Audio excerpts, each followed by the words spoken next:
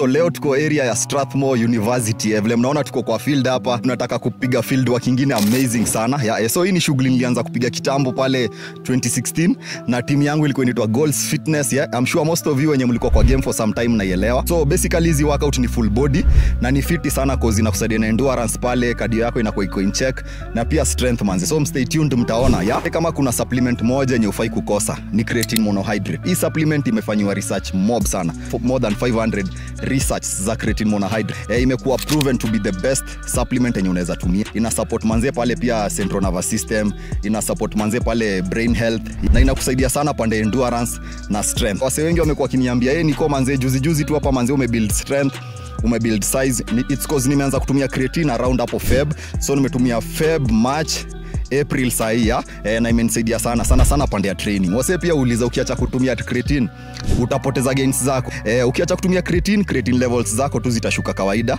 Eh, kumbuka mwili na producing creatine lakini kidogo sana. Nyama pia hizi ma red meat ziko na creatine size yake. Now the problem ni for you to get ile creatine yenye unaweza pata kwa 5 grams kwa hiyo mkebe ya creatine utakula nyama manzee more than a kg.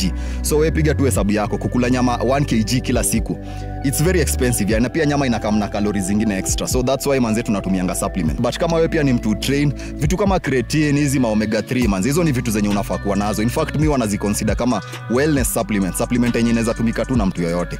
Na the good thing ati inaweza tumika pia na madem so kama pia ni dem usiogope. Haina side effects yoyote. Haya wase bado wanalianga creatine inaweza kuwa inaumiza kidney. Research imefanywa manzi unless already kidney zako ziko na problem. Kama uko fiti creatine haita kuaffect in any way yeah, so make sure manzee mnatumia creatine mi creatine yangu yenye natumia hapa inaitwa lifeworth yeah?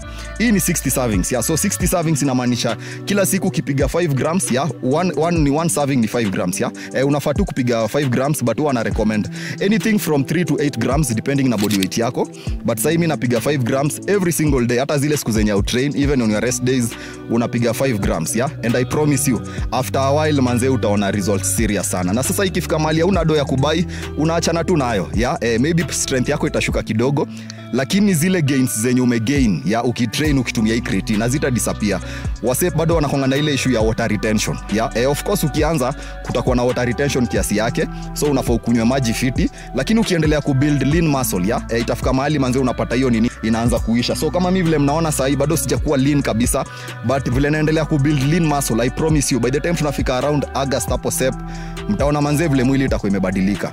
So i recommend kama we ni mtu sana sana una train kama tu lazima utumie supplement moja make sure ni creatine monohydrate